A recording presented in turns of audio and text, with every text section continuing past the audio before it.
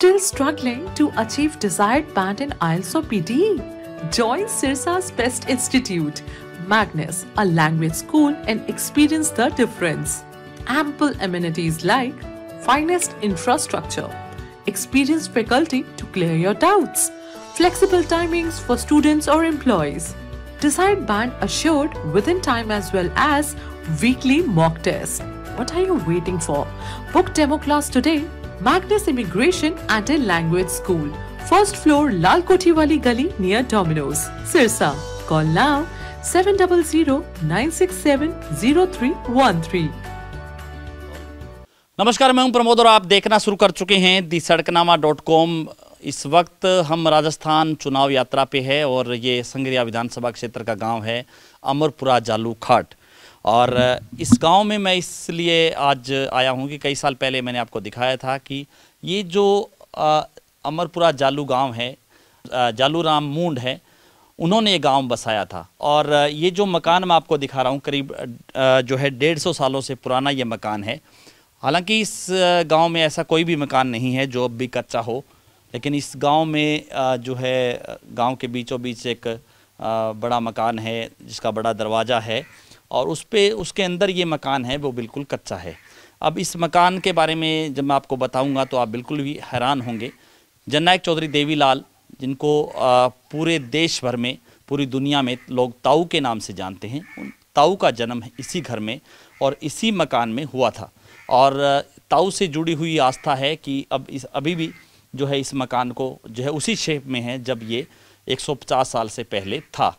ठीक है? और आपको दिखा रहा हूँ कि अंदर से भी हम आपको इसकी तस्वीरें दिखाएँगे कि बिल्कुल जो है उसी शेप में है। जब जननायक चौधरी देवी लाल ने इस घर में जन्म लिया और यहाँ पे जो है इसी मकान में उनका जन्म हुआ था। और चूँकि चौधरी देवी लाल का ये ननिहाल है, जब वो देश के उप प्रधानमंत्री रहे और हरियाणा के मुख्यमंत्री रहे, तब भी इस गाँव से वो आते जाते थे, क्योंकि ननिहाल में उनका काफ़ी प्रेम प्यार था। और हमारे साथ गाँव के बुज़ुर्ग हैं। हम उनसे भी थोड़ा बहुत जानने का प्रयास करेंगे कि जो किस तरह से क्योंकि मैं आपको दिखा रहा हूँ कि बिल्कुल जो है मकान है ये उसी जो है शेप में है उसी शक्ल में है। जब उसी जो है तर्ज पे था हमारे साथ जो हाँ जी सर आप आप आ जाइए इधर। जी जी। क्या नाम आपका? इंदिराज जी तो आप आपकी कितनी उम्र हो गई? छिहत्तर साल होगी छिहत्तर साल उम्र हो गई।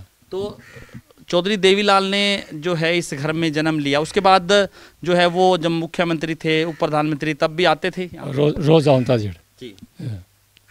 आवता बच्चा सा खूब प्रेम रखता। अच्छा पूरा प्रेम प्यार रखते। पूर प्रेम। तो ये ये मकान अभी भी कच्चा क्यों छोड़ दिया गाँव के लोग बंग देखने के वास्ते। अच्छा देखने के लिए। हाँ यादगिरी के लिए। अच्छा यादगिरी के लिए। पिताओं की आस्था है। हाँ हाँ हाँ, जुड़ी हुई। हाँ, हाँ, हाँ, इसलिए तो और भी लोग आते होंगे यहाँ पे देखने के लिए इस मकान को? हाँ, काफ़ी लोग आते हैं। काफ़ी लोग आते हैं। जी। वो चुटाले से आते हैं। अच्छा से भी आते हैं। हाँ, और भी जो लोग जननायक चाहते देवीलाल के बारे में जैसे ये सुनते हैं तो वो यहाँ पे आकर के इसको देख करके जाते हैं। हाँ। जी। ठीक। और और क्या कहना चाहेंगे? और आपको कोई किस्सा याद हो चौधरी देवीलाल का जब वो यहाँ पे आए या कुछ इस तरह का कुछ बना बताना चाहिए आप? देवलाल जी हटाया गौड़ में बैठा। माने बिठा लिया बोले बच्चों मांगो थे थारा स्कूल है कोर है किमी वास्ते मैं बोले हमारे कने सब कुछ ही है। मैं वो मांगियो बा बहुत न्यारा काटे हमारा बोले थे कि मांगो मेरे कनो मैं बोले वो घना ही हमारे कने ये वास्ते में तो ना मांगया ना करियो की बस ये बात। हाँ जी आपका क्या नाम है जय नारायण पुनिया। जी। ठीक है। तो तो पुण्य जी क्या कहना चाहेंगे? अभी भी ये मकान है उसी शेप में है तो लोगों की आस्था जुड़ी हुई है यहाँ पे? हाँ जी जुड़ी हुई है। जी। हाँ जी।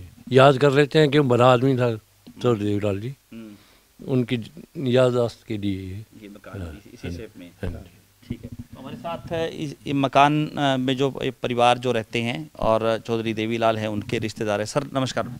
नमस्कार जी। जी। तो कभी कोई विचार आया आपके मन में कि इसको जो है तोड़ दिया जाए या नहीं नहीं हम तैयार करेंगे इसको। अच्छा इसको फिर से तैयार करोगे? रिनोवेट करोगे? हाँ। जी।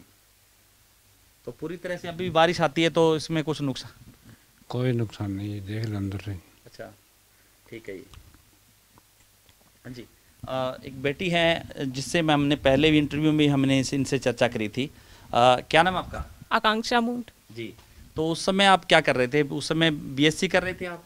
हाँ जी उस टाइम मेरी बीएससी चल रही थी। जी।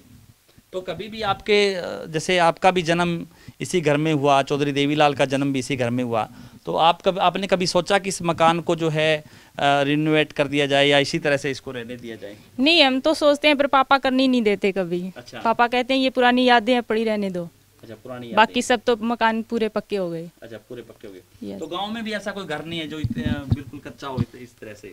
इस तरह तो शायद ही होगा गाँव में इतना कच्चा घर तो रहा ही नहीं। किसी गरीब के भी नहीं रहा होगा शायद। अच्छा तो ये ये ऐसे छोड़ा गया है कि इसी तरह से इसको आस्था जुड़ी हुई है कि इसी इस तरह से? हाँ पापा ने छुड़वा रखा है इसीलिए। अच्छा तो लोग भी देखने आते होंगे यहाँ इस मकान को? हाँ आ जाते हैं इधर उधर से स्पेशल देखने के लिए आते हैं भी यहाँ भी कुछ हस्तियाँ थी।